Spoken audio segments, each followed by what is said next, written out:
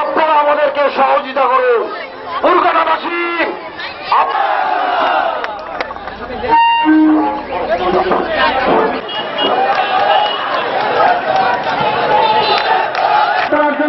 আমরা শেষ পেয়েছি, কিন্তু এখন আমাদের কলেজ হয়নি।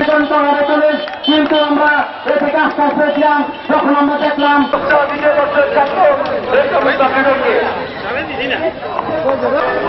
তোমার খুব সঠিক হওয়ার কারণে